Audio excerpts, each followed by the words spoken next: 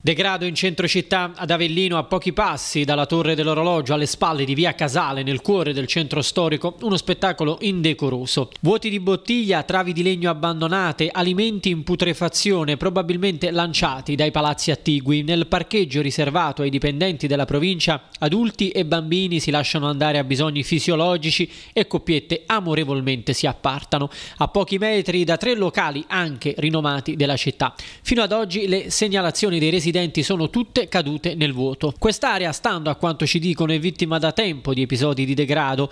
Spesso comitive di giovani, approfittando anche della solitudine della zona, si abbandonano ad atti di vandalismo, dai graffiti sui muri a bivacchi improvvisati, senza dimenticare gli schiamazzi notturni. La segnalazione che arriva dalle spalle di via Casale si somma ai diversi episodi raccolti in questi mesi che hanno per teatro le strade del centro storico. Il cuore di Avellino è una porzione di città ormai abbandonata a se stessa, trincerata tra i cantieri vessata dall'incuria. In un simile scenario le attività commerciali, le poche sopravvissute, devono compiere salti mortali per andare avanti. Ogni segnalazione cade nel vuoto, ogni tentativo di interazione con l'amministrazione comunale non genera altro che un ennesimo invito ad attendere.